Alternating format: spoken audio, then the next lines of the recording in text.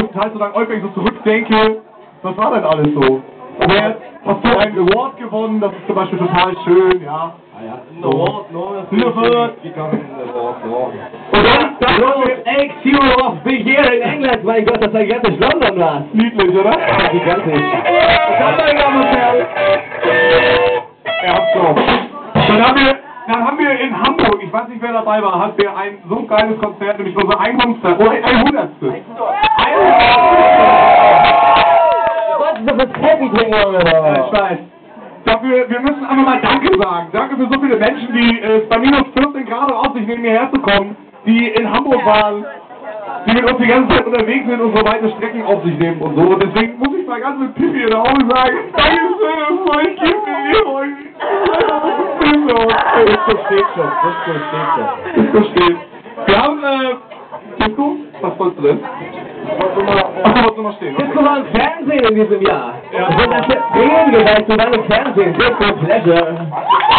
Was fällt dir in Bremen? Und zwei von uns hatten dieses Jahr sogar Sex.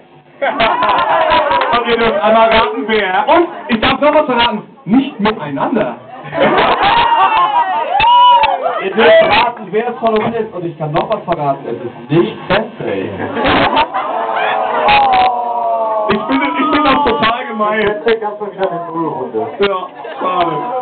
Nein, also, worauf ich eigentlich hinaus wollte, wir waren dann auch noch nach der 100. Show in Sylt, auf Sylt drauf quasi, ja. Alter, hast du in Sylt gesagt?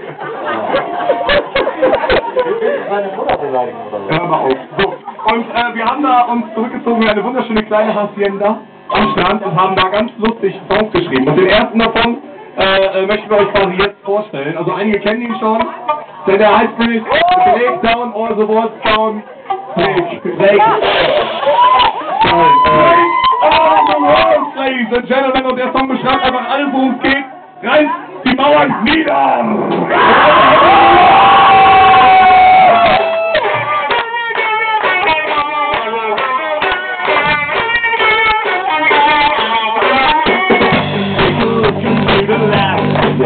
Krishna